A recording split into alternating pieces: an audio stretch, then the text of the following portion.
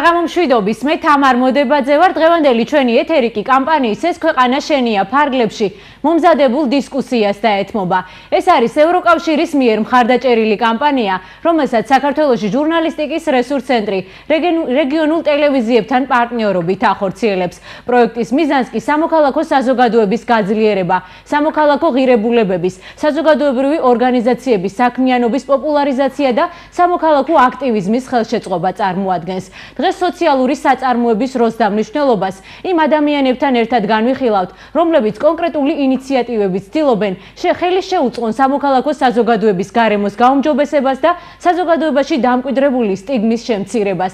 ვისაუბრებთ კახეთში დაარსებულ ერთ-ერთ პირველ სოციალურ საწარმოზე, თემქედელზე, სადაც შეზღუდული ინტელექტუალური შესაძლებლობის მქონე ზრდასრული ადამიანები ღირსების შესაფერის ოჯახი ხურ გარემოში ცხოვრობენ. თემში არსებულ შრომით თერაპიულ სახელოს ოცნოებში საქმიანობით მათ ეძლევათ საშუალება საკუთარი სურვილების რეალიზების საშუალება.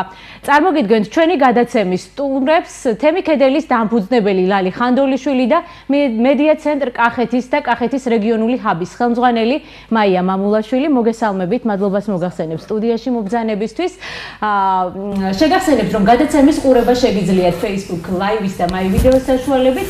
გვიყურებთ დაბირეკეთ ტელეფონის ნომერზე 0353 22 30 ან 599 84 22 ვიდრე კითხვებით მივმართავ ჩვენი გადაცემის სტუმრებს, ნახოთ როგორ ცხოვრობენ და რა საქმიანობენ თემი ქედელის ბენეფიციარები. ქედელი არის ადგილი, სადაც ადამიანებს ერთმანეთი უყვართ, ერთმანეთს ზრუნავენ და ერთმანეთის მადლიერები არიან. მიზანი იყო ის რომ ადამიანებისთვის რომელიც განსაკუთრებულ ზრუნვას საჭიროებენ სიცოცხლე შეგვიმარჩუნებინა ეს არის ჩვენი პირველი სახლი რომელიც ყველას ძალიან გვიყვარს და ყველას უნდა რომ აი ამ სახლში იცხოვროს 1999 წელს დაიწყეთ ქედელის მშენებლობა. და იცით როგორ იყო? ცარიელი ბუჩქები იყო. არაფერი არ იყო. არც წყალი ჰქონდა არც გაზი ჰქონდა. ჭერიდან წყალი ჩამოდიოდა. და ძალიან უკვირდა ხალხს. რატომ აკეთებდით ამას და რა რა იყო მიზეზი? მაშინ სწორედ ამ ადამიანების სიცოცხლის გადარჩენა იდგა კითხვის ნიშნის ქვეშ და თავარი მიზანი იყო მაშინ ეს. ეს ეს საჭიროება ნამდვილად აღარ აქვს მათ ვაძლევთ ღირსეული ცხოვრების შესაძლებლობას. ცხადია დონორების garaშე ჩვენ ვერაფერს ვერ გავაკეთებდით. ფაქტობრივად რასაც ხედავთ ეს არის ყველაფერი უცხოელი დონორების და ჩვენი მეგობრების მხარდაჭერით შექმნილი ეს ჩვენ გვაქვს სამი საცხოვრებელი სახლი და ყავს 25 მაცხოვრებელი. ქედელში ფუნქციონირებს 7 სოციალური საწარმო, ასე ვთქვათ. ეს არის საცხობის სახელოსნო, სადაც ფუნქციონალური ცხოვრება და ასევე ნამცხრები.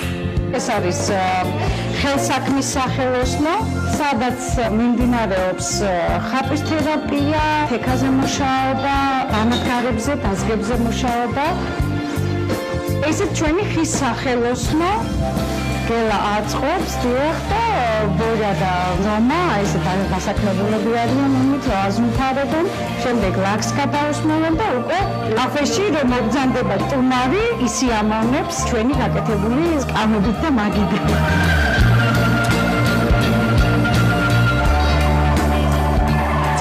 სადაც რაც მოყვავს ჩვენი მოხმარებისთვის არის. გვაქვს ასევე სასათბურო მეურნეობა, ზამთარში სათბურში მოყვავს პროდუქტები. აი ეს გზა, ეს 20 წლიანი გზა, რომელიც ჩვენი ორგანიზაციამ გაიარა, არის სწორედ დასტური იმისა, რომ ძალიან მნიშვნელოვანია, რომ ადამიანებმა საკუთარ თავზე ავიღოთ პასუხისმგებლობა და ვაკეთოთ ყოველ დღე ის რისი საშუალებაც გვაქვს.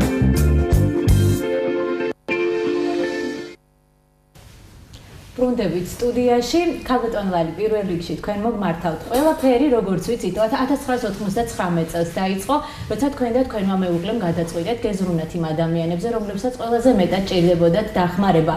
როგორი იყო თქვენი პირველი ნაბიჯები? რა გზა გაიარეთ? მოგესალმებით, დიდი მადლობა სტუდიაში მოწვევისთვის. ჩვენთვის ძალიან დიდი პატივია თქვენთან ყოფნა და გაზიარება ჩვენი ისტორიის. აა დიასტორეთ ბძანებთ 1999 წელს იყო იდეა და სხვა არაფერი. აა და ეს იდეა სრულად მოულოდნელად მოვიდა ჩვენს ოჯახში. საბედნიეროდ ჩვენ არ ყავდა შვილი შეზღუდული შესაძლებლობის მქონე, თუმცა ერთმა ერთმა ესეთმა მომენტმა განაპირობა მეზობელი ყავდა ინტელექტუალური შეზღუდვის მქონე პირი, რომელსაც რომელიც ერთ ჩვენი დღეს დარჩა ზრუნველის გარეშე და ისწორედ მაშინ პირველად იყო ჩემი შეხება აი ამ თემასთან და მაშინ პირველად ვიფიქრე რომ რა იქნება ამ ადამიანისთვის, რა იქნება ამ ადამიანის მომავალი და აღმოაჩინე რომ მთელი საქართველოს მასშტაბით ფაქტიურად არ არსებობდა არაფერი. სწორედ მაშინ გადავწყვეტეთ რომ გაგვეკეთებინა გავიგეთ რა უცხოური გამოცდილებები გადავწყვეტეთ გაგვეკეთებინა და გვიარსებინა ესეთი თემის ტიპის დასახლება მენტალური შეზღუდვის მქონე ადამიანებისთვის. და ეს იყო ჩვენთვის ძალიან მნიშვნელოვანი ეტაპი, ძალიან რთული ეტაპი ხადია, იმიტომ რომ ეს არის პერიოდი, როცა საქართველოსი ფაქტიურად არაფერი არ არსებობს, არ არის ნიჰილიზმით იყო მოცული მთელი ქვეყანა, არა კომუნიკაცია, არა კომუნალური პირობები, რა თქმა უნდა, არა მხარდამჭერა. და მოკლედ ძალიან რთული იყო ეს გზა, დაწყებაც რთული იყო ცხადია, მაგრამ დღემდე გრძელდება ეს ეტაპი. ჯერ კიდევ აი ამ პროცესში ვართ, შეიძლება ითქვას. რამდენადაც ჩვენთვის ცნობილია პირველი შემომწირველი სწორედ უცხოელი იყო? დიახ, კერძო გერმანელი პენსიონერი. აა ეს დიახ, სწორედ სწორედ ძალიან დიახ. აა პრინციპში პირველი შემომწირველები ჩვენ ვიყავით ჩემი ოჯახი როგორც როგორც ასეთი იმიტომ რომ მოგახსენეთ რომ არაფერი არ არსებობდა. დაწყებული ადამიანური რესურსებიდან დამთავრებული განათლებით აი ამ სფეროში. ფაქტიურად ჩვენ ისიც კი არ ვიცოდით როგორ შეიძლება და აი ამ ადამიანებთან ერთად გვეცხოვრა. პირველი რაც გავაკეთეთ ეს იყო რომ ჩვენმა ოჯახმა ის რაც ჩვენ საკუთრებაში არსებობდა მიწის ნაკვეთი. მოშორებით ცოტა სიღნაღიდან თუმცა ეს ტერიტორიაც ეკუთვნის სიღნაღს და კილომეტრი ნახევარშია წმინდა ნინოს ბუდბის მონასტერთან. ეს ტერიტორია როგორც მოგახსენეთ უკვე არის სიღნაღის ტერიტორია. და ჩემს ოჯახს ჰქონდა რამოდენიმე მიწის ნაკვეთი რომელიც ჩვენ გადავწყვეტეთ რომ ორგანიზაციისთვის გვეჩუქებინა როგორც პირველი შემოწირულობა და სწორედ გამომდინარე იდეიდან, რომ ჩვენთვის ძალიან მნიშვნელოვანი იყო, რომ ეს ადამიანები დაგვესაქმებინა სოფლის მეურნეობა, სოფლის მეურნეობით, ანუ დავკავებულიყავით სხვადასხვა საქმიანობებით, ამიტომ ძალიან მნიშვნელოვანი იყო სწორედ აი ამ მიწის ნაკვეთის არსებობა. დიახ, პირველი შემოწირველი, ასე ვთქვათ, იყო გერმანელი პენსიონერი, რომელმაც გაიღო პირველი პირველი ასე ვთქვათ ფინანსები, გერტ ვალენტინი, რომლისაც ჩვენ დღემდე ძალიან მადლიერები ვართ და ასევე ძალიან მადლიერები ვართ ყველა იმ ჩვენი მეგობრის, რომელიც რომელიც ყოველთვის ჩვენს გვერდით იყო და არის ამჟამადაც ჩვენთან თემში, ორი დღის წინ ჩამობძანდა ადამიანი ბატონი იან ბორქსი, რომელიც არის ბელგიიდან და რომელიც უნიშნელოვანესი ადამიანია ჩვენი თემისთვის, რადგანაც სწორედ ეს იყო ადამიანი, რომელმაც მიგვიწვია, მიმიწვია პირადად მე ბელგიაში, მსგავს დაწესებულებაში, სადაც ვნახე თუ რა არის აი ეს სათემო ცხოვრება, როგორ შეიძლება იყოს მოწყობილი. და ამჟამად გვიყურებს კიდეც ბატონი იანი საქართველოსში იმყოფება და მინდა რომ მადლობა გადაუხადო თქვენი ტელევიზიის საშუალებით აი ამ საშუალებისთვის აი ამ ხარდაჭერისთვის რომ რომ ხარდაჭერასაც იგი უკვე აგერ 20 წელია ეწევა კედელისთვის მადლობა. ქალბატონო მაია, მაყურებელს რომ განმომარტოთ, რას ნიშნავს სოციალური საწარმო და მეწარმეობა და რით განსხვავდება ის ტრადიციული მომგებიანი ბიზნესისგან? მოგესალმებით. პირველ რიგში გილოცავთ აი ამ თემაზე გადაცემათა ციკლის დაწყებას. მიმაჩნია, რომ ძალიან მნიშვნელოვანია სამოქალაქო საზოგადოების როლი ქვეყნის განვითარებაში, გაძლიერებაში. ჩვენ ახლა ერთი კონკრეტული ორგანიზაციის მაგალითზე ვუყურებთ, თუ რამხელა მნიშვნელობის საქმეს აკეთებს ეს ორგანიზაცია თავის თემში და ვფიქრობ, რომ ეს თითოეული ნაბიჯი არის გადამდები და სხვა ორგანიზაციებისთვის, ადამიანებისთვის არის მაგალითი იმისათვის, თუ როგორ შეიძლება შეიძლება გაძლიერდეს და განვითარდეს ორგანიზაციები. ასევე ძალიან მნიშვნელოვანი გახლავთ თვითონ ცნება სოციალური წარმოება, სოციალური საწარმო.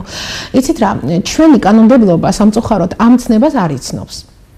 ეს უფრო უფრო გახლავთ გარკვეული ტიპის საქმიანობის სფერო, ამ შემთხვევაში არაფორმალური საქმიანობის სფერო, რომელსაც კონკრეტული სამოქალაქო ორგანიზაციები თუ აქტიური ადამიანები ნერგავენ იმისათვის, რომ სარგებელი მიიღოს გარკვეულმა ჯგუფმა ამ საწარმოს მუშაობის შედეგად, ხო? თვითონ ტერმინიც გვეუბნება, რომ სოციალური საწარმო აუცილებლად უნდა იყოს ორიენტირებული, ეს იქნება თემის თუ გარკვეული ჯგუფის საზოგადოების ინტერესებზე და ამის ძალიან კარგი მაგალითებია საერთაშორისო დონეზე, მსოფლიო საზოგადოებაში. საქართველოსიც არის კარგი მაგალითები, ერთ-ერთი მაგალითზე უკვე თქვენ ისაუბრეთ და ძალიან მისასალმებელია ის, რომ ასეთი ტიპის საწარმოები ხელს უწყობენ მოწყვლადი ჯგუფების ჩართულობას სხვადასხვა საკითხების გადაჭრაში და ამავე დროს იმ შრომითი უნარების საზოგადოებაში ინტეგრაციაში უწევს ძალიან დიდ დახმარებას და განსაკუთრებით ისეთი ჯგუფები, რომელსაც წეღან ახსენა ქალბატონი ლალიმ და ამ შემთხვევაში არიან ესეთი ადამიანები, ვისაც ძალიან უჭირს ჩვენ საზოგადოებაში, მაშინ როდესაც არ არის ათანადო პირობები ხომ, იგივე დახმარების შესაძლებლობა სახელმწიფოს მხრიდან, სწორედ აი ესეთი ინიციატივები, ადამიანები, ვისაც აქვთ ძალიან დიდი ინტერესი იმისათვის, რომ საზოგადოებას შეუწყონ ხელი და გარკვეული წინსვლა წინსვლისათვის გარკვეული ნაბიჯები გადადგან და ზოგჯერ საკუთარ წარმატებაზეც თქვან უარი და სხვა მხრივ წარმართონ თავიანთი ცხოვრება. სწორედ აი ესეთი კარგი მაგალითები იწვევს აი იმ შედეგებს, რომელსაც ჩვენ ხედავთ. დიახ. როგორც კაბატონო მაია მაგნიშნა, ეს სოციალური საწარმოს მოგება არიზომება ფინანსური შემოსავლების და მისი წვლილი ამ სოციალური პრობლემების მოგვარებაში არის უფრო დიდი, ვიდრე სხვა ფინანსური მოგების და დივიდენდის შექმნა.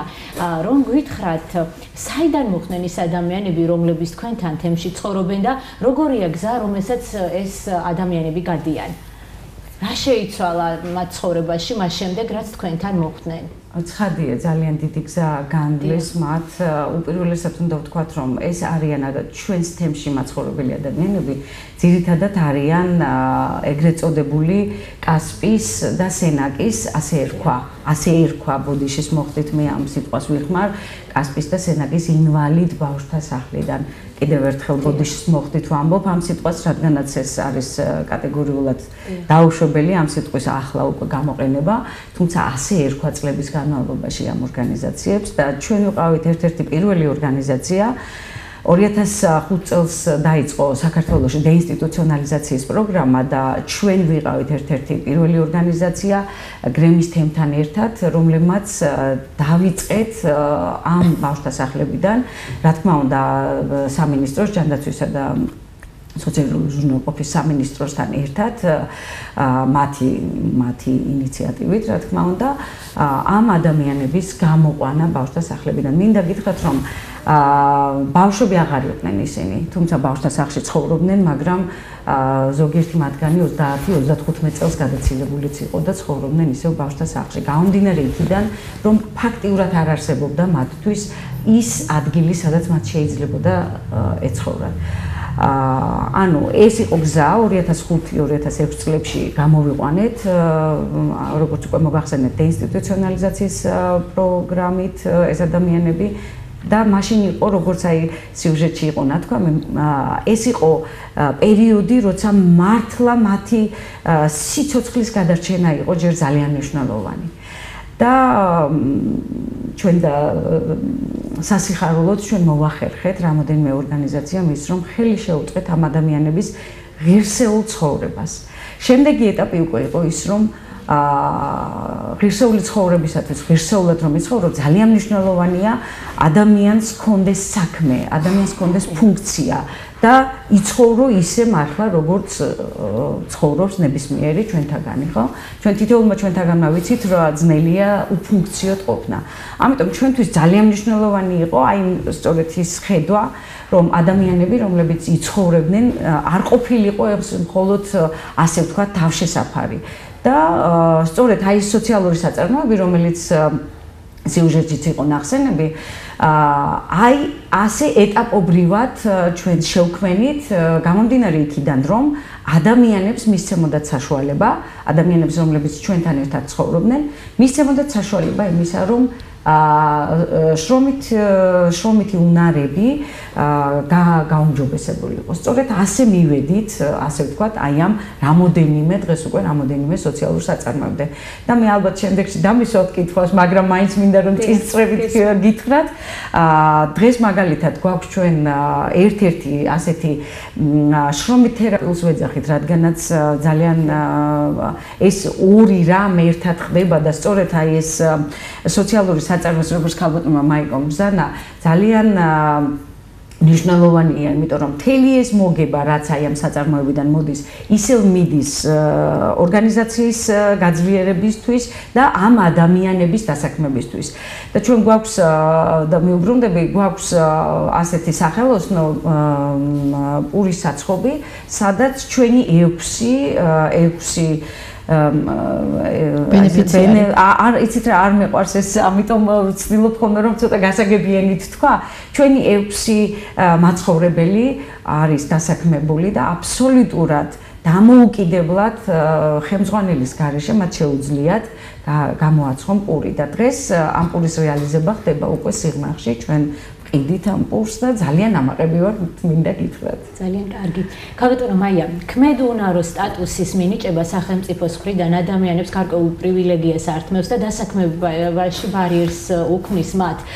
სად არის პრობლემა ამ კუთხის სახელმწიფოში და როცა აი 150000-ზე მეტი შეზღუდული შესაძლებლობის მქონე პირია, როგორია ამ შემთხვევაში სახელმწიფოს მიდგომა და როგორ ფიქრობთ, როგორი უნდა იყოს? პირველ რიგში მინდა რომ მადლიერება გამოვხატო იმის გამო რომ საზოგადოება და ამ შემთხვევაში მედია ინტერესდება ამ თემით იმდენად რამდენადაც თვითონ აი სოციალური საკითხი უშუალოდ სოციალური პოლიტიკა, რომელიც ამ შემთხვევაში ჩვენ ქვეყანაში არის, ძალიან მნიშვნელოვან განვითარებას საჭიროებს, ხო? აი ამ საკითხის კარგად შესწავლისთვის ჩვენმა ორგანიზაციამ World Vision-ის მხარდაჭერით და ევროკავშირის მხარდაჭერით უფრო სწორად განახორციელა და ახორციელებს ამჟამადაც პროექტს ინტერმუნიციპალური სოციალური პოლიტიკი პოლიტიკა კახეთის რეგიონში და სამი მუნიციპალიტეტი მონაწილეობს. სამწუხაროდ სიგნალი არ გახლავთ ამ პროექტში ჩართული მოქცეული, თუმცა ზოგადი ტენდენცია ამ პროექტის ფარგლებში ჩვენ კვლევა ჩავატარეთ სამ მუნიციპალიტეტში და აი მონაცემების დამუშავების შედეგად მივედით იმ დასკვნამდე, რასაკვირველია ის ისედაც ჩანს კარგად, იმიტომ რომ ჯანდაცვის პროგრამებისთვის ძალიან წირია ბიუჯეტი სამწუხაროდ მუნიციპალურ დონეზე, მით უფრო, იმიტომ რომ მუნიციპალიტეტს კიდე თავის საჭიროებები აქვს და მაინც ცენტრალურ ხელისუფლებაზეა დამოკიდებული და ცენტრალურ ბიუჯეტზე უფრო სწორად. და ამ შემთხვევაში ვთქვათ აი საკითხი საკითხები და პრიორიტეტიზაცია, ვთქვათ, კონკრეტული სოციალური საკითხების, სწორედაც რომ კვლევების საფუძველზე უნდა ხდებოდეს და ამ შემთხვევაში ალბათ პირველ ადგილზე სწორედ ეს მოწყვლადი ჯგუფებია, ვისთვისაც ყველაზე მეტად მნიშვნელოვანია სახელმწიფოს დახმარება.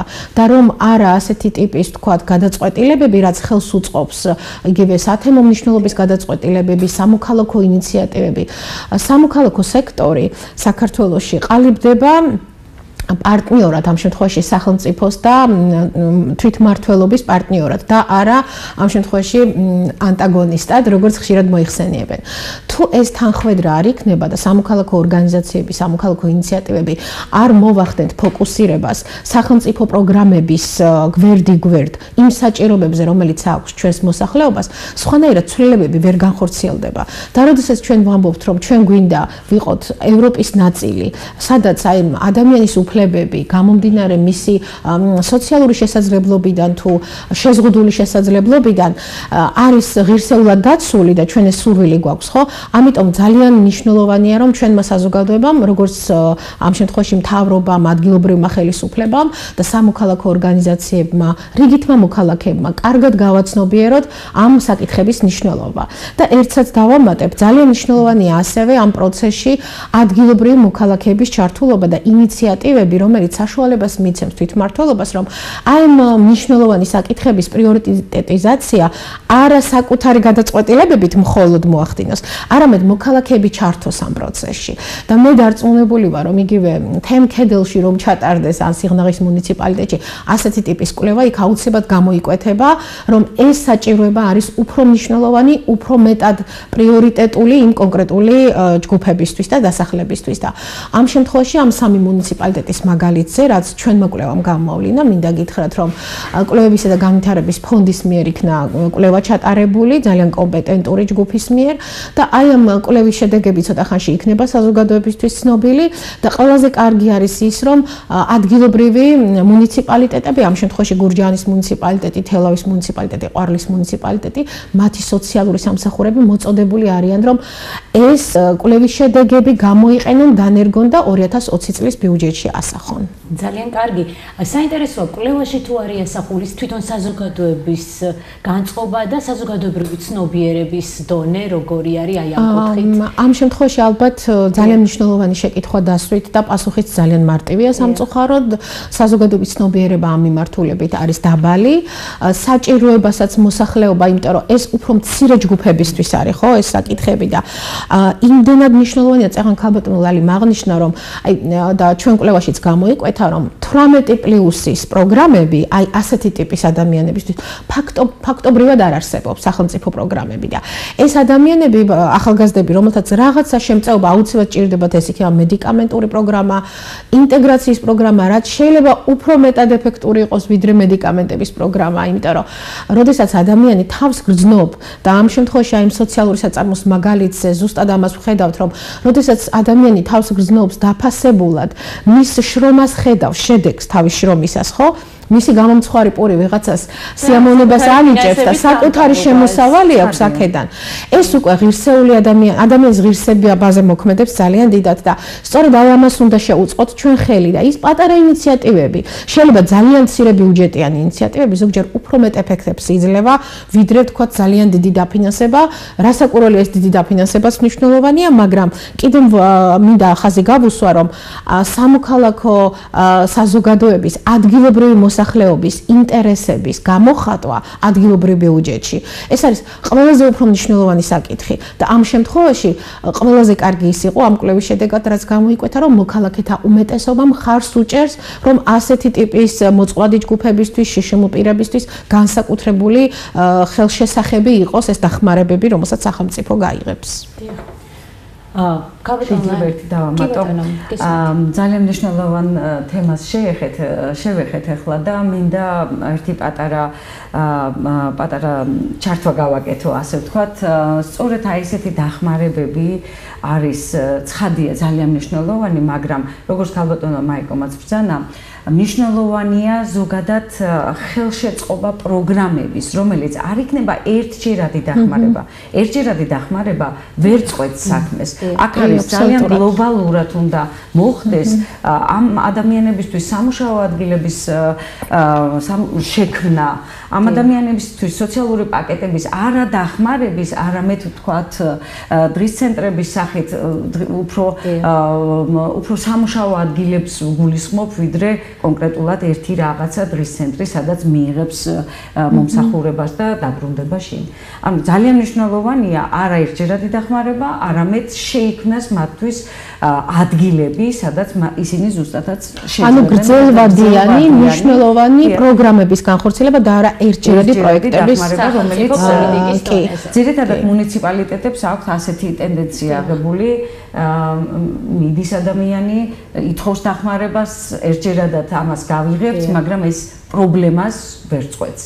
ამიტომ ეს არის ძალიან მნიშვნელოვანი, რომ ჩვენმა მუნიციპალიტეტებმა, ადგილობრივმა თვითმმართველობებმა მიაქციონ ამას ყურადღება. აქვე მინდა ერთი ჩართვა გავაკეთო ამ რადგან შევეხეთ მუნიციპალურ საკითხებს, როგორც გითხარით, ჩვენი პროექტის ფარგლებში ინტერმუნიციპალური სოციალური პროგრამები შევისწავლეთ და მინდა ისიც აღვნიშნო, რომ თვითონ მუნიციპალიტეტებსაც სამწუხაროდ იმდენად მწირი შესაძლებლობა აქვთ აი ამ თვალსაზრისით, ყავთ მცირე რაოდენობა თანამშრომლებისა სამწუხაროდ ზოგან 2 და 3 ადამიანი უამრავ საქმეს აკეთებს. ესეც ერთგვარი პრობლემაა და ასევე ძალიან რეკომენდირებული და მნიშვნელოვანი გახლავთ ის, რომ სწორედაც აი ამ პროგრამების შემუშავებაში მაქსიმალურად იყოს ჩართული მოქალაქეები, მოსახლეობა და უშუალოდ ის ადამიანები, ვისაც ეს ეხებათ ეს საკითხი. აბსოლუტურად გეთახმებით ქალბატონ ლალი, იმდენად რამდენადაც ერთჯერადაც თქვა რაღაცა ცეცხლის ჩაქრობას ემსახურება ხოლმე ხშირად ესე რომ აი იმ მომენტში როცა ძალიან მნიშვნელოვანია, იძულებულია იგივე თვითმართველობა ეს დახმარება გაწიოს და ძალიან მნიშვნელოვანია, მაგრამ თუ ჩვენ არ ვიქნებით ორიენტირებული პროგრამების შემუშავებაზე, პრიორიტეტების დანერგვაზე, რომელიც საბოლოო ჯამში შედეგებამდე მიგვიტა, მიგვიყვანს კონკრეტული ინდიკატორებამდე, ამ შემთხვევაში უფრო მეტი იქნება სარგებელი საზოგადოებისთვის. სახელმწიფო ნომაც არის რონა იმდენი სოციალური საწარმო ალბათ ვერასდროს ვერ შეიქმნება, რომ ყველა ეს ადამიანი დასაქმებული იყოს და რეალიზებული თავისი შესაძლებლობის ფარგლებში. ქალბატონო აია, თქვენც გქონდათ სოციალური საწარმო მედია კაფე წლების წინ. მე მაინტერესებს რა პრობლემები გქონდა თქვენ და სახელმწიფოს მხრიდან სოციალური საწარმოების მიმართ როგორია მიდგომა? იცით რა, ეხლა ჩვენ შემთხვევაში ჩვენთან განსხვავებული სურათი იყო, იმდენად რამდენადაც ქალბატონ ლალისგან განსხვავებით ჯერ კიდევ 99 წელს დაიწყეთ თქვენ ხო ფუნქციონირება და როგორც სოციალურმა საწარმომ. ჩვენი ორგანიზაცია გაცილებით დიდი ხანია მუშაობდა, მაგრამ სოციალური საწარმოს მიმართულებით ნაკლები გამოცდილება ჰქონდა. თუმცა ჩვენი გადაწყვეტილება თელავში გაგვეხსნა სოციალური ერთგვარი კაფე, რომელშიც ესე იგი ერთ-ერთი პირველი მერცხალი იყო საქართველოსშიც მათ შორის და ძალიან საინტერესო იყო ის, რომ ხელს უწყობდა საზოგადოების ჩართულობას, მოქალაქეების გაძლიერებას, ინფორმირებას, ბევრი მისია ჰქონდა ამ კაფეს, მაგრამ სამწუხაროდ პრობლემა გახლდათ ამ შემთხვევაში რესურსების სიმწირეში, რომელიც ჩვენ ორგანიზაციას ჰქონდა და ამ შემთხვევაში თვითმართველობასთან ადგილობრივ თვითმართველობასთან იყო გარკვეული ტიპის პრობლემა, იმდენად რამდენადაც ის სივრცე, რომელიც კონკრეტულად ამ სოციალური საწარმოსთვის იყო გამოყოფილი, ხუთწლიანი იჯარით ჰქონდა და ამ შემთხვევაში, როდესაც იჯარის ვადა დასრულდა, მუნიციპალიტეტმა ეს აღარ გააგრძელა. შესაბამისად მოგვიწია, რომ ეს მთელი რესურსი, რომელიც ჩავდეთ აი ამ ფართის კეთილმოწყობაში, ინვენტარში და ასე შემდეგ, ფაქტობრივად მოხდა აი ამ რესურსის, ასე ვთქვათ, დასრულება ძალიან სამწუხარო შემთხვევა იყო, თუმცა მინდა თქვა, რომ საბოლოო ჯამში მაინც გამოცდილება ძალიან მნიშვნელოვანი იყო ჩვენთვის. ეხლა ჩვენი ორგანიზაცია სოციალური საწარმოს მიმართულებით ამ წუთში არ მუშაობს, თუმცა ჩვენი გამოცდილებით გარკვეულ მხარდაჭერას და დახმარებას ვუწევთ იმ ორგანიზაციებს, ვისაც არამხოლოდ სოციალური მიმართულებით, არამედ სათემო მიმართულებით აქვს გამოცდილება. და აქვე მინდა აღვნიშნო, რომ ეხლა დღეს დასრულდა წინანდალში სათემო ლიდერთა ფორუმი, რომელშიც მათ შორის გახლდათ ესე იგი ისეთი ორგანიზაციები როგორიც კონკრეტულ სოფლებში კონკრეტულ თემში მუშაობენ და ძალიან მნიშვნელოვან როლს ასრულებენ სამოქალაქო საზოგადოების განვითარებისთვის და მინდა რომ მივულოცო ამ ორგანიზაციებს მათ შორის გამარჯვებული გამოვლინდა თელავიდან სათემო ორგანიზაცია ნაფარეული რომელიც სოფელ ნაფარეულში მუშაობს და არაჩვეულებრივი პროგრამები განახორციელეს ახალგაზრდების და ბავშვების ჩართულობით. ისე რომ ესეთი პოზიტიური მაგალითები გვაქვს და იმედი მაქვს, რომ ამ პოზიტიური მაგალითების საფუძველზე უფრო უკეთესი შედეგები შეიძლება იყოს მიღწეული. ძალიან კარგი.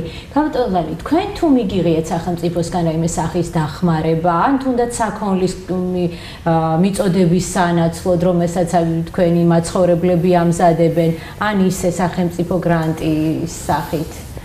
ან თუნდაც სიგნალის ახლა კარგად უნდა დავფიქრდე და კარგად მოვიფიქრო რომ რამე არ შემეჟალოს ამ ალბათ არა, იმიტომ რომ არ მახსენდება სამწუხაროდ. ჩვენ ხვალს როგორც აღნიშნა ერთ-ერთი პირველი იყო ჩვენიც ასე ვთქვათ იმ თვალსაზრისით რომ ჩვენ კაფეში დასაქმებულია სულ ეხმახანს გავხსენით კაფე მეორედ.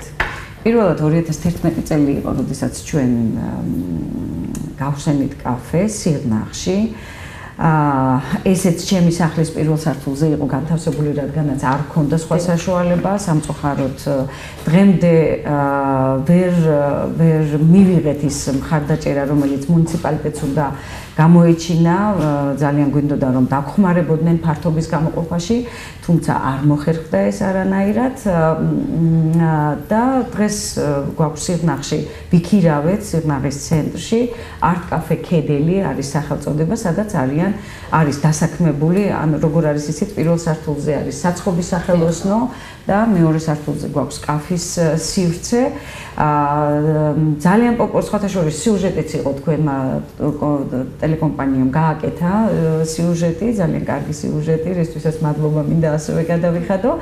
აა და ჩვენს კაფეში დასაქმებულია 10 10 ბენეფიციარი. აა 10 ახალგაზრდა, რომლებიც ამაში ხელფას იღებენ. სამწუხაროდ, სამწუხაროდ, აი ეს არის სწორედ, როდესაც საუბრობთ სოციალურ პასუხისმგებლობაზე, უნდა საყედური საყედური გამოვა, მაგრამ უნდა ვთქვა, არ შეიძლება თუ არ ვთქვით, არასოდეს არ შეიძლება და პრობლემა არასოდეს არ მოგვარდება, ხო?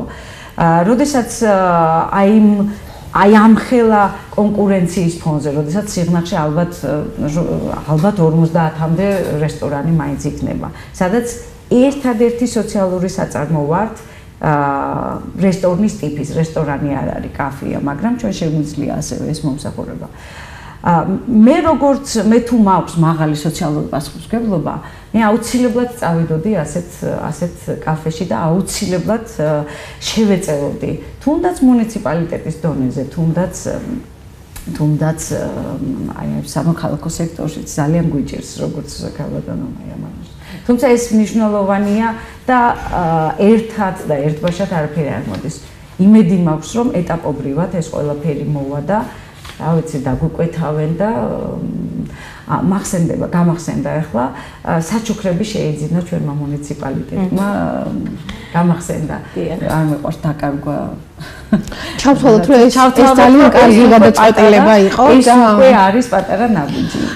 იცით რა, მე მინდა დავეთახო ქალბატონ ლალის და როდესაც სოციალურ პასუხისგებლობაზე საუბრობდა, ძალიან მნიშვნელოვანი არის არა მხოლოდ სახელმწიფოსი, ახლა ყოველს გვესმის რომ სამწუხაროდ ღარიბ სახელმწიფოში ვცხოვრობთ და შესაბამისად ის რაღაცა ბიუჯეტი, რომელიც არის ძალიან წირი ჩვენნაირი ქვეყნისთვის, ის ნაწილდება მთელი ქვეყნის ასე ვთქვათ საჭიროებებზე, ხო? ეს ყველაფერი გასაგებია და გვესმის, მაგრამ ძალიან მნიშვნელოვანია სახელმწიფოს მხარდაჭერა, თუნდაც ის რომ მათ საჩუქრები შეიძინეს, თუნდაც ის რომ რაღაცა კონკრეტული სტუმარი, რომელიც შეიძლება სიგნაღის მერს ყავდეს და წაიყვანოს და ამ სოციალურ საწარმოში გააცნოს და თან მიიყვანოს, მე მგონი აი ეს იქნებოდა ყველაზე საუკეთესო მხარდაჭერა ამ საწარმოსთვის.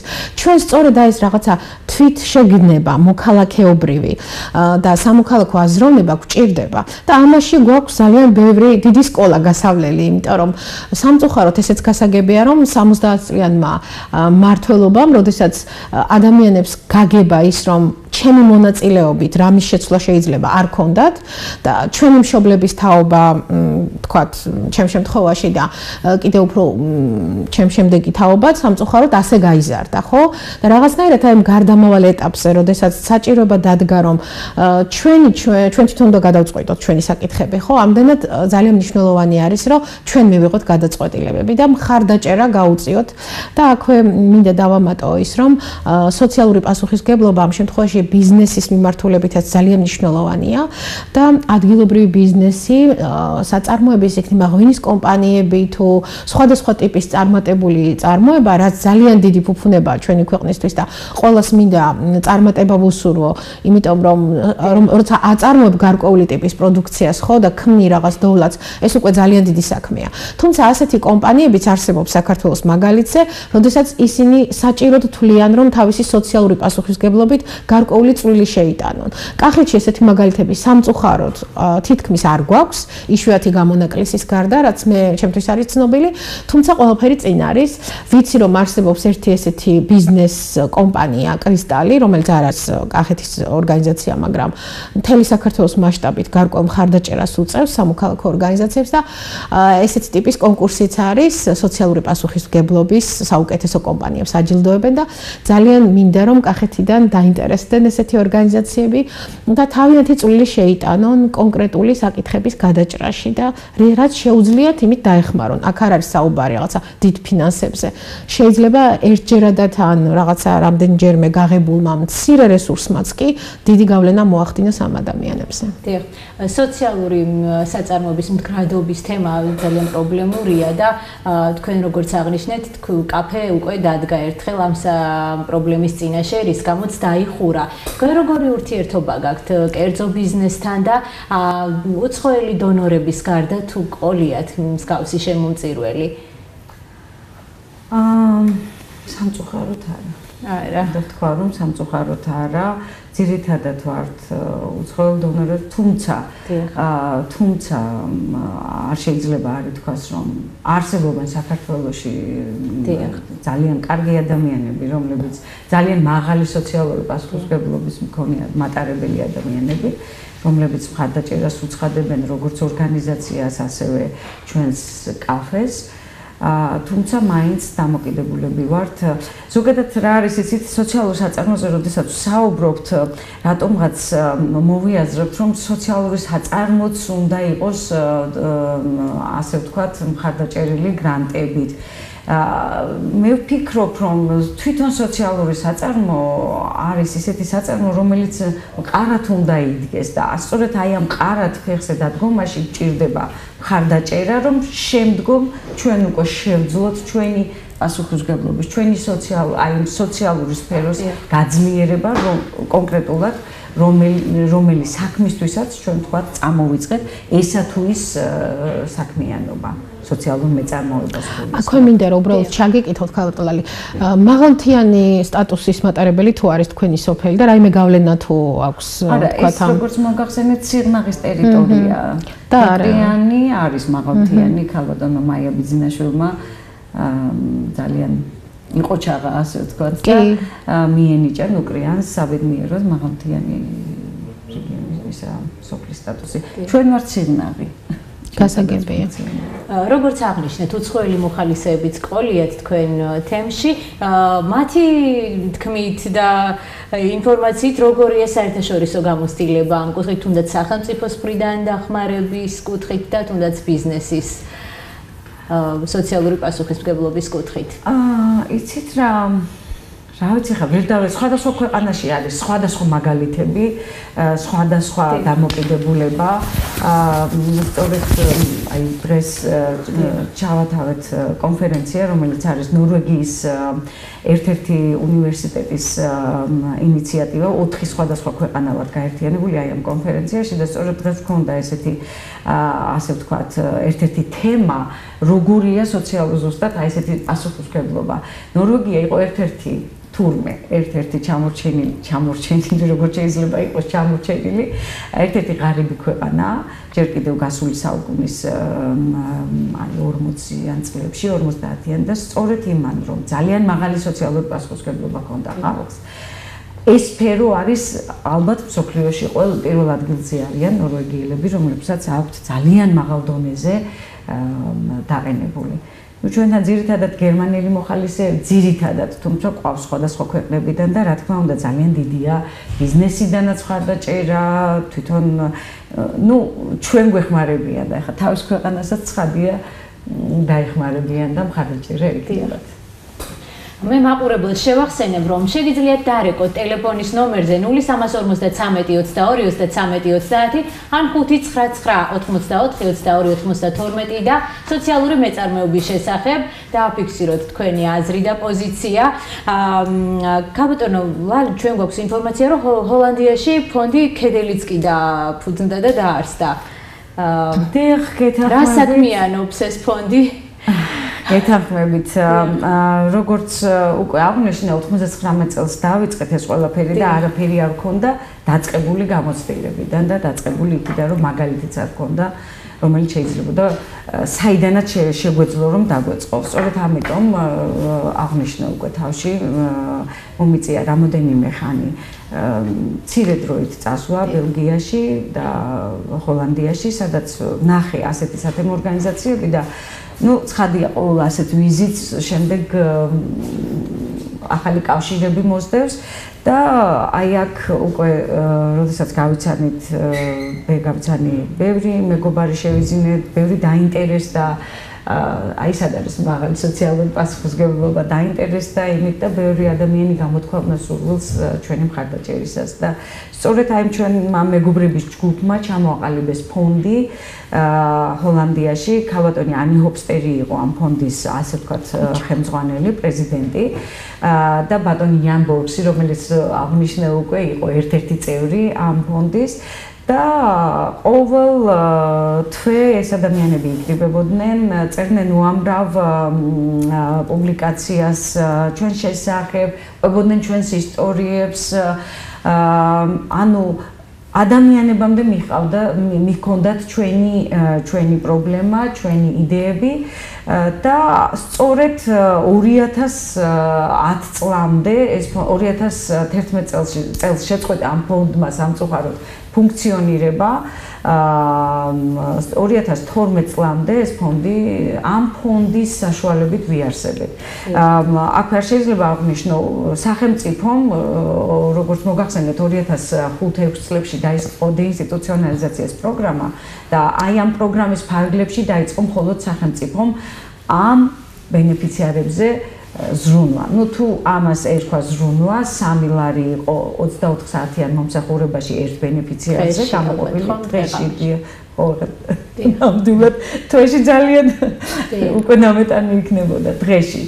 დღეს არის 20 ლარი, რომელსაც სახელმწიფო იხდის, უხდის ერთ ბენეფიციარს 24 საათიან მომსახურებაში და აი სწორედ აი ეს წლები 99-დან 2006 წლამდე ну თუ არ ჩავთვლით იმ სამ ლარს შემდგომ 2011 წლამდე ჩვენ ვიყავით აი ამ ფონდის განხარდაჭერილები და ჩვენი თითეული ნივთი არის მათი მხარდაჭერით შეძენილი და აქამდე ასე მოვაღწიეთ დიახ. გამოტანო მაია, თუ გაქვთ ინფორმაცია სახელმწიფოს თუ აქვს სპეციალური პროგრამები, რომლითაც ახალისდება ეს სოციალური მეწარმეობა, როგორც თქვენ დასაწყისშიც აღნიშნეთ, ეს არის საქმიანობის ტიპი და იურიდიულად განსაზღვრულიც კი არ არის ცალკე. აა კი, რამდენადაც მე მაქვს ინფორმაცია, საქართველოს არის რამდენიმე ორგანიზაცია, მათ შორის საერთაშორისო ორგანიზაციები, რომლებიც მუშაობენ სოციალური მეწარმეობის თვალსაზრისით მის განვითარებაზე და როგორც მე მაქვს ინფორმაცია, მათ ჰქონდათ გარკვეული ტიპის მცდელობა, რომ თქვათ აღიარება მომხდარიყო როგორც სოციალური მეწარმეობის გარკვეული ტიპის შეღავათების, იმდენ რამდენადაც ხა ქალბატონი ლალი უკეთ იტყვის, მე როგორც ვიცი, სოციალური საწარმო ჩვეულებრივი ხდის გადასახადებს, როგორც ნებისმიერ ნებისმიერი ბიზნესი. წარმოიდგინეთ და მაშინ, როდესაც მას გაცილებით მნიშვნელოვანი ფუნქცია აქვს, ხო, ვიდრე ბიზნეს. ბიზნესის როლი გახლავთ ის, რომ მან მიიღოს მოგება, რაც ძალიან უნებრევია და სწორია, მაგრამ სოციალური საწარმოს ფუნქცია გახლავთ ის, რომ მიღებული მოგება ისეთ რეინვესტირება მოახდინოს ერთგვარი თავისივე ბენეფიციარების გაძლიერებაზე, ხო? იმიტომ რომ ამ ადამიანების დასაქმების მიცემა, სამუშაო ადგილების მიცემა ძალიან მნიშვნელოვანია და თუ გავითვალისწინებთ ჩვენ სოციალურ პირ პირობებს, ეკონომიკურ პირობებს და რეგიონში განსაკუთრებით აი ამ ძალიან მნიშვნელოვან სამწუხაროდ ვიტყვი ამას, რომ ეკონომიკური განვითარება დაბალია, ამ შემთხვევაში ძალიან დიდი გმირობაა სოციალური საწარმოს არსებობა და მე მინდა რომ მოგილოცოთ ქალბატონო ლალი, რომ ეს ამხელა ძალისხმევა რომ არა, მე წარმომიდგენია, რამდენად შეუძლებელი იქნებოდა საერთაშორისო ორგანიზაციების დახმარების გარეშე ამის გაკეთება. და ჩვენ ალბათ მივალთ იმ ბედნიერ დღემდე, როდესაც ჩვენი საზოგადოება, ჩვენი ქვეყანა და დააფასებს ამ წვილს, რომელიც შეაქვთ. სამოქალაქო ორგანიზაციებს სოციალური მეწარმეობის თვალსაზრისით და ბევრი მცდელობა არის, რამდენადაც მე ვიცი, სამწუხაროდ ჯერჯერობით ესეთი გადაწყვეტილება მე არ მაქვს ინფორმაცია იმ შესახებ თუ არის რაიმე სიახლეები სახელმწიფოს მხრიდან, თუმცა მინდა აღნიშნო ის, რომ აი თვითონ აი გადაცემის ციკლი, რომელიც ახლა ეთერშია და ჩვენს მაყურებლებს ვესაუბრებით, გახლავთ ნაწილი პროგრამისა სამოქალაქო საზოგადოების განვითარების განვითარების ინიციატივა, ეს გახლავთ პროექტი, რომელსაც ევროკავშირი უჭერს მხარს და აი ამ პროექტის ფარგლებში რამდენიმე მნიშვნელოვანმა ორგანიზაციამ საქართველოში იმუშავა სახელმწიფო დაფინანსების შესახებ, რომელიც შეიძლება სამოქალაქო ორგანიზაციებმა მიიღონ. ესეთი პრეცედენტები არსებობს უკვე საქართველოში. მე შემიძლია თამამად თქვა, რომ ეს გახლავთ გორის მუნიციპალიტეტი, სადაც უკვე არის ესეთი თანამონაწილეობითი ბიუჯეტირების ფორმა და იგივე ისეთი ორგანიზაციები, როგორიც სამ შემთხვევაში ქაბოტო ლალის და კახეთში არის რამდენიმე ასეთი ორგანიზაცია იღებენ დაფინანსებას ადგილობრივი ბიუჯეტიდანაც, ცენტრალური ბიუჯეტიდანაც, ჯანდაცვის სამინისტროს მხრიდან რამდენადაც ვიცი, გურჯანშიც არის, როგორც ვიცი, ძალიან საინტერესო და კარგი ორგანიზაცია. ქალბატონი გულიკო როსტოშვილი ხელმძღვანელობს შშმ ბავშთა მიმართულებით, მაგრამ სოციალური საწარმოს ფუნქცია მას არ აქვს და თუ ეს დამატებითი ფუნქციები იქნება შეძენილი და თითო მუნიციპალიტეტში მაინც თითო ასეთი ინიციატივა განხორციელდება, ეს იქნება ძალიან წინ გადადგმული ნაბიჯი ჩვენი ქვეყნის განვითარებისთვის. ინტერნეტში ვეცნობოდი ინფორმაციებს და საქართველოს სხვადასხვა მუნიციპალიტეტებში არსებობს იმის პრაქტიკა, რომ ადგილობრივი მუნიციპალიტეტების ბიუჯეტებში გათვალისწინებულია სოციალური მეწარმეობის მხარდაჭერის პრიორიტეტები და ალბათ ესეც საინტერესოა, რომ კახეთის მუნიციპალიტეტებმაც განსაზღვრონ ეს გავუტარგალ ბენეფიციერების შესახებ რომ გითხრათ უფრო ვრცლად, რასაკეთებენ თქვით რომ შვიდი სოციალური საწარმოა, ასევე ისინი კულტურულ აქტივობებშიც არიან ჩართული და ვეცნობოდი ასევე ინფორმაციას რომ CD დისკიც კი გამოიცა მათი სიმღერების. აი ამ კუთხით როგორია მათი ცხოვრება რომ გითხრათ?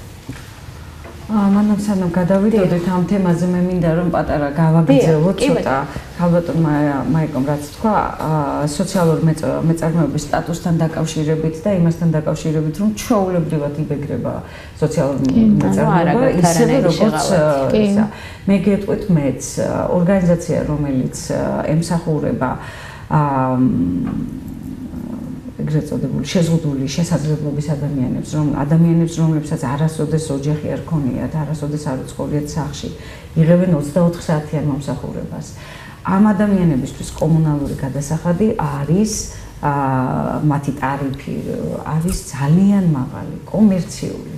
ეს არის წარმოუდგენელი, არც ერთ ქვეყანაში ასე ასე არ ხდება და ყველა ორგანიზაცია, რომელიც მუშაობს, აი ესეთი სოციალური ორგანიზაცია, იღებს კომერციული ფასით და ჩვენ მე მახსოვს, ნუ რამოდენიმე რამოდენიმე ხელისუფლება გამოვიცვალეთ და ყველა ხელისუფლებასთან გქონდა ამაზე დისკუსია, დღემდე მიმდინარეობს, რომ მსგავსი ორგანიზაციები, როგორც თქვა, ჩვენი ორგანიზაცია იყოს რაღაცნაირად ხელშეწყობილი და ეს ტარიფი იყოს დაბალი. ვერ წარმოიდგენთ სამთარი რომ მოდის, არის წარმოუდგენელი გადასახადი მეშინი არ შემეშალოს, ამიტომ არ დავასახელებთ ციფს ლარი მინიმუმ არის ჩვენი გადასახადი მე მგონი. თუ არ ვწდები, შეიძლება ვწდები ამაში და მაპატიეთ უბრალოდ. კი, უკვე რამოდენიმე არის. რამოდენიმე ჯერ შეიცვალა ლარი და სამთეთრსაც ვიხდიდით, მე რაღაცა ცოტა ჩამო, ჩამოუკლეს.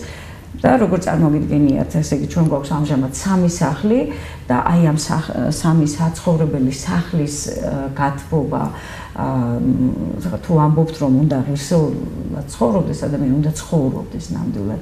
რაც შეეხება ბენეფიციარებს და ხარჯებს ფარავთ სამეწარმეო ეკონომიკური საქმიანობით ხო? და არა მარტო ეს არის როგორც თავად შეუძლებელია ფაქტობრივად შეუძლებელია. იმიტომ რომ ეს არის სოციალური საწარმო სადაც დასაქმებულები არიან ადამიანები რომლებსაც განსაკუთრებული ზრუნვა ესაჭიროებათ განსაკუთრებული მხარდაჭერა ესაჭიროებათ და განსაკუთრებულები არიან უნიკალურები არიან თავისი შესაძლებლობებით, თავისი მონაცემებით. ამიტომ მათ ძალიან დიდი ძალისხმევა სჭირდება ამის გაკეთებაში და თუ თქვათ ვიღაცა სჭირდება 2 წუთი, შეიძლება მას სჭირდება ნახევარი საათი, მაგრამ ის ისევე კარგად აკეთებს. ეს აქვე მინდა ვთქვა, რომ ეს არ უნდა ვიგულისხმოთ ისე, რომ რადგანაც ნახევარი საათი სჭირდება, ну მაშინ აღარ უნდა გააკეთოს. ესე არ არის ის აკეთებს, მე და თქვენ სხვადასხვა ტემპერამენტის ადამიანი ვართ და სხვადასხვანაირად დარწმუნებული უფრო ხარისხიანათაც გააკეთებს. ხარისხიანად, აბსოლუტურად გენთანხმებით, გოგონა რამოდენიმე ადამიანი ცხოვრობს ჩვენთან, რომელიც მის კარადაში რო შევხედოთ, ძალიან მწვენია,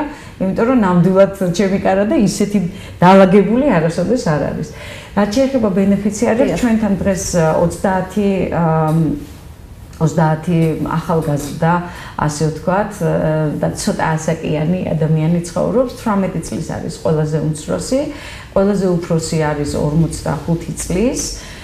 სამი საცხოვრებელი სახლი გვაქვს და აი ამ სამ საცხოვრებელ სახლში არიან გადანაწილებული. ჩვენ მაქსიმალურად ვცდილობთ, რომ ეს იყოს პატარა ტიპის, ანუ 7 მაქსიმუმ 8 ადამიანზე მეტმა არის ცხოვრობს, თუმცა გამომდინარე იქიდან რომ მოთხოვნა არის ძალიან დიდი, არა მხოლოდ ჩვენთან, არამედ სხვა მსგავს დაწესებულებებში ამ ადამიანების სამწუხაროდ განთავსებისა, იმიტომ რომ დგება დრო, როდესაც როდესაც ადამიანი რჩება მარტო და მას ესაჭიროება ნამდვილად ხარდაჭერა.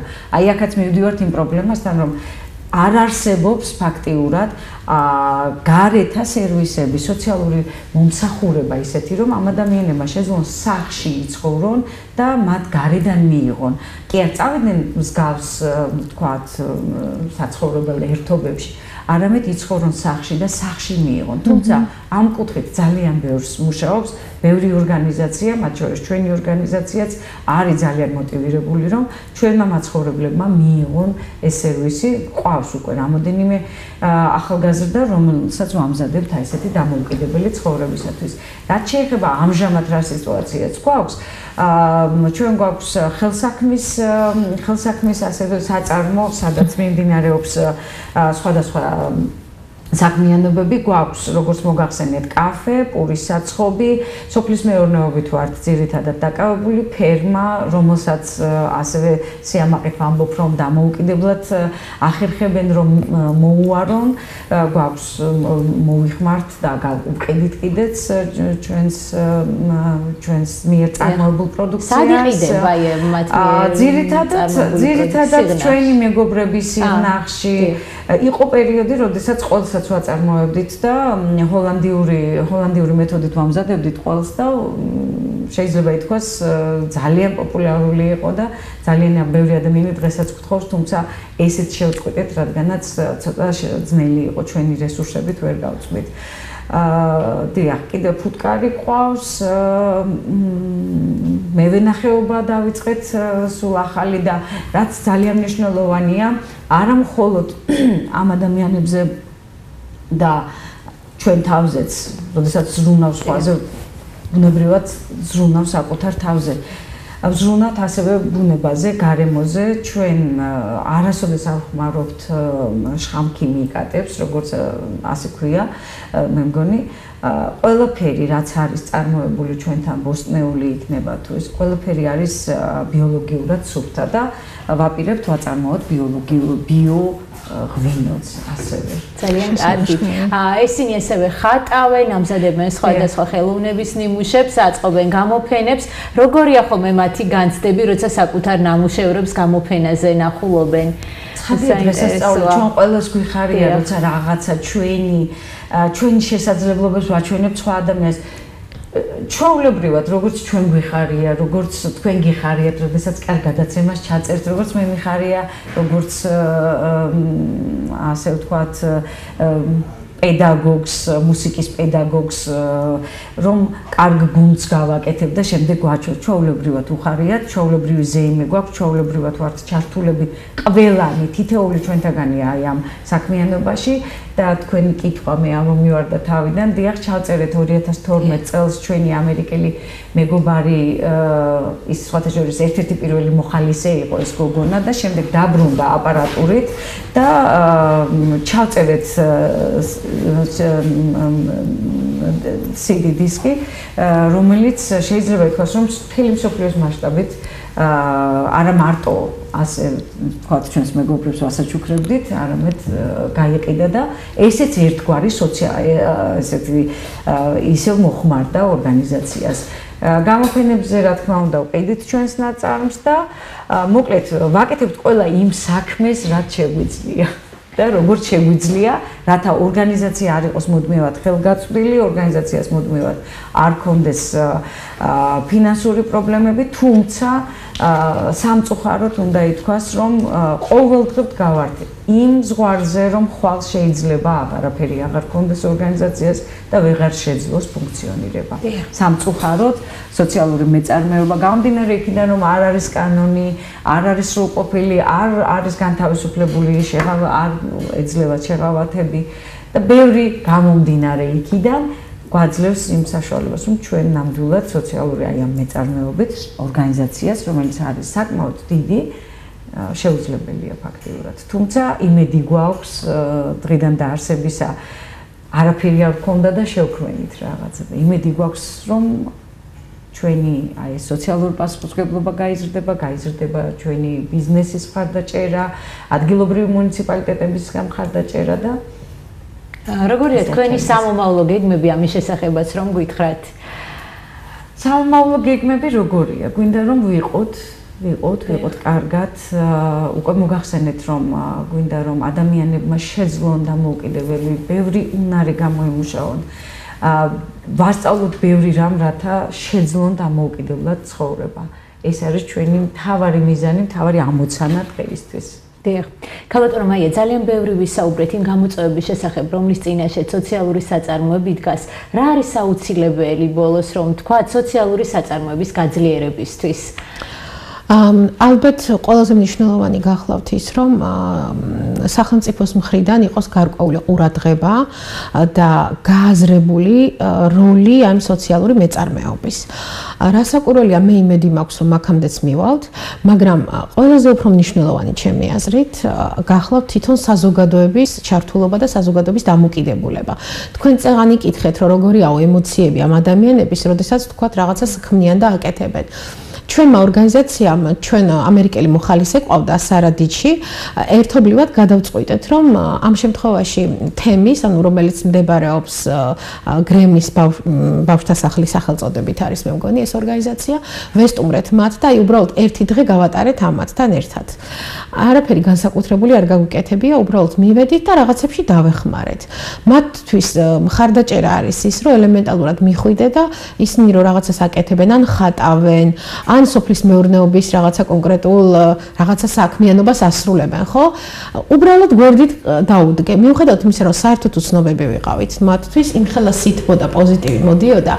ძალიან ჭირდებათ მხარდაჭერა ადამიანების მხრიდან, საზოგადოების მხრიდან და მე მგონი, რომ აი ეს სწორად აღნიშნა წეგან ქალბატონმა ლალიმ, რომ როდესაც ნორვეგიის მაგალითზე ისაუბრა, ხო, რომ იქ ძალიან ამ ხრივ განუვითარებელი იყო და არ იყო, თქვა, სოციალური წარმოება და როგორ უცებ მოხდა მათი გაძლიერება, ალბათ ყველაზე მნიშვნელოვანი არის სწორედ საზოგადოება, ჩვენი მენტალური ცვლილება იმისათვის, რომ საზოგადოების თითოეულმა წევრმა დაიჯეროს, დაინახოს, რომ მისი როლი არის ძალიან მნიშვნელოვანი.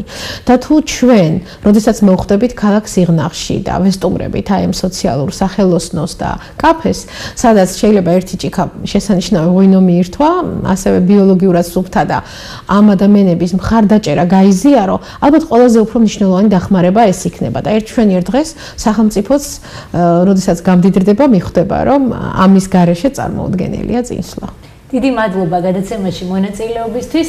უყურებდით თქვენ პოზიციას, რომლის განმეორებით ნახვა ხვალდილის 10 საათსა და 30 წუთზე შეგეძლებათ. გარდა ამისა, გადაცემა შეგიძლიათ ნახოთ ჩვენს ვებგვერდზე გურჯაანი TV.com, ასევე Facebook-ის გვერდებზე მოგძებნეთ ქართული შიფტით ტელეკომპანია გურჯაანი ან TV თქვენი პოზიცია, გვიყურებთ სიგნეტზე მაქსის თისაძე IP ტელევიზიასა და მაი ვიდეოზე მომავალ პარასკევს კი ეთერში ვთქვათ, კვლავ თქვენი პოზიცია დაბრუნდება ნახვამდის.